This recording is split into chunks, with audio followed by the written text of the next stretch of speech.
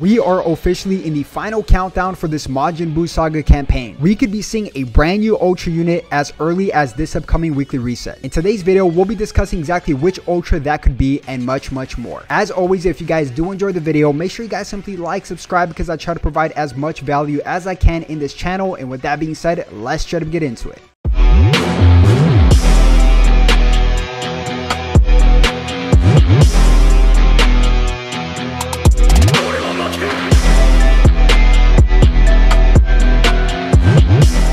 Alright guys, so we are in the final countdown for this Majin Buu Saga campaign and I for one am extremely excited because I believe this campaign will end off in a huge banger.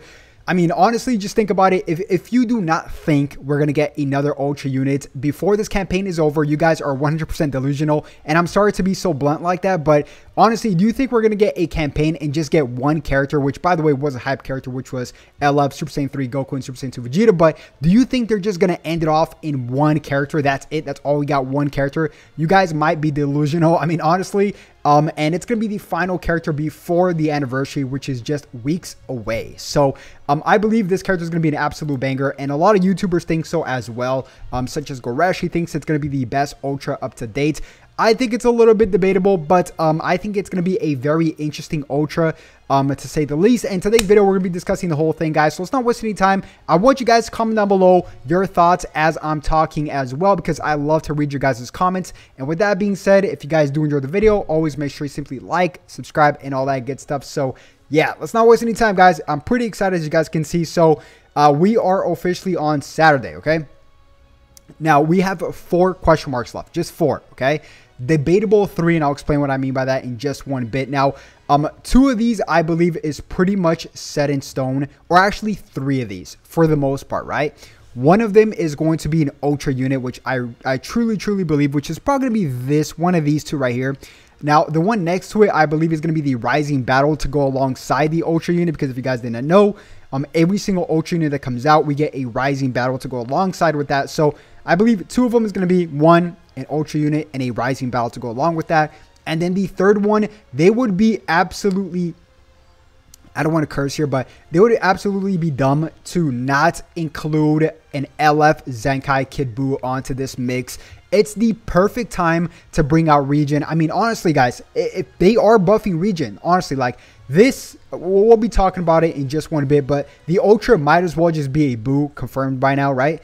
Uh, we just got this, um, you know, uh, this uh, good Zenkai Buu unique equipment, which, you know, rightfully so, he's not as good as people thought he was going to be, but still, it's very noticeable that they do want to buff regen. And we just got the second form cell not too long ago as well. And if they just bring out a busted ultra Buu, whether it be any form of Buu, which we'll discuss in just one bit um, alongside a zenkai kid Buu, we, we could start talking about regen getting its its you know true potential from what it was years ago. It's been years since Regen has been kind of noticeable, and I think this could be a very good uh, you know opportunity for them. So, all right, guys, let's talk about exactly which Ultra this will be. Now, there is a very limited options. Okay, very limited. Actually, technically speaking, if you guys just want to narrow it down to a buu, because there's so many buus as you guys can see. Um, and we'll be discussing exactly what, what I want to see from this buu if we do get a buu. So there's this, right? It's to be inside the Majin Buu Saga campaign, obviously.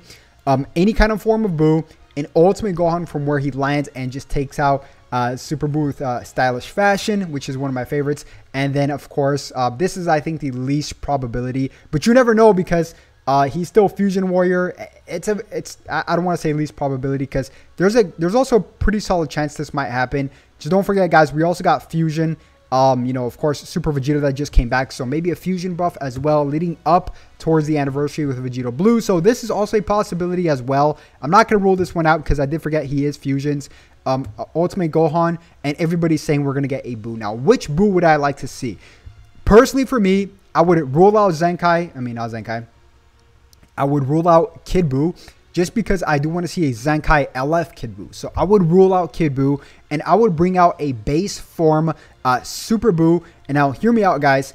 Dragon Ball Legends has been very unique with their characters as of late. If you just take a look at Hit's, you know, with his time skip, it's very, very unique and it's very well done. As well as the Majin Buu Bros, um, you know, with the whole switch mechanic. It's just very unique and I love it. Um, this right here would be the perfect opportunity to bring out a Super Buu where if a teammate or an enemy dies, whatever the case may be, he absorbs um, a specific character. Now, of course, it wouldn't make any sense for, for you to kill just, for example, like a Goku, and then you absorb Goku. That's not how it works. It, it would work very similar to Cell's transformation, how he just goes off to the side and absorbs an 18, Android 18. So um, I would see something like that with Buu, where he absorbs, for example, Buutenks um, upon, let's just say, an enemy dying or a team member dying, something around those lines. Um, or maybe just ha- it doesn't even need to be a character dying. It could be his unique gauge filling up twice, right? The first unique gauge he goes to Buhan, and then the second unique gauge he goes. I mean, uh, the first unique gauge he goes to Buutenks, and then the second unique gauge that fills up he would go into Buhan, right? That would be really epic. I would. I'll tell you guys right now. I rarely 14 stars. I would rarely put up like 500 to a thousand USD into a unit, but this would be one of the characters I would personally do it. This is speaking to me personally. If they do it like I just explained, I will 14 star that unit for sure. Like I remember when Beast Gohan got announced, I didn't even think twice. I'm like, I, I don't care what it costs. I am for sure going to 14 star uh, Beast Gohan now. Comment down below, guys. What do you guys think about this? I think this would be the best possibility. Um, I mean, I mean, Buu would be the best possibility, but I think this would be absolutely awesome for them to do something around these lines. Uh, just since they've been making these characters very unique. And um, and I could definitely see that, man, leading up towards the anniversary. If that happens right before the anniversary, it's like, what would come out for the anniversary, right?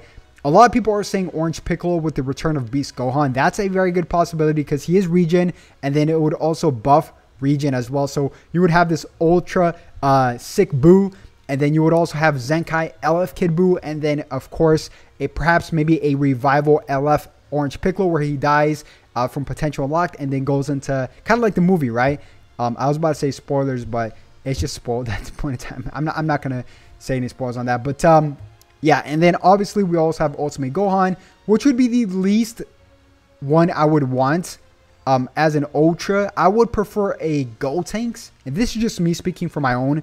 Um, the Gold Gotenks would make more sense for me because um, if they really want to buff Fusion Warrior leading up towards the the fifth anniversary, which everybody's speculating, Ultra Vegito Blue, right? The anniversary has always had an Ultra, guys. Uh, first anniversary, LF, you know, um, Super Vegito. Second anniversary, also we got, you know, of course, Vegito Blue, the LF. Uh, and then third anniversary, my favorite defensive menace, G4, Gogeta 4. Um, and uh, Super Saiyan 4 Gogeta. And then, of course, fourth anniversary. Last year, we got another Super Vegeta but Ultra version. So people are speculating this year, Ultra Vegito Blue, and then next year uh, for the 60th anniversary. I can't believe I actually said that, but it would be uh, Ultra Super Saiyan 4 Gogeta, which actually sounds insane. But uh, but yeah, guys, comment down below what you guys think about all this. That's pretty much gonna wrap it up for today's video. Regen is they could do some stuff with Regen, man. For example, they got Zamasu, right? They Zenkai this Kid Buu. Uh, they're both blue, so that wouldn't really make any sense. But um, I guess second form cell. But then they bring out Orange Piccolo, Ace, a brand new Buu, and this good Buu just got Zenkai, or, or this Zenkai Buu just got a brand new unique equipment, which is like a Zenkai. But yeah, man, I'm very curious to see how this campaign is going to end. I feel like it's going to end with a banger. And with that being said, if you guys did enjoy the video, make sure you guys simply like, subscribe, and all that good stuff because I appreciate every single one of my subscribers. I really, really do. And uh, I'll definitely catch you guys once again for a YouTube short later on. So uh, stay tuned for that. Have a good one. Peace.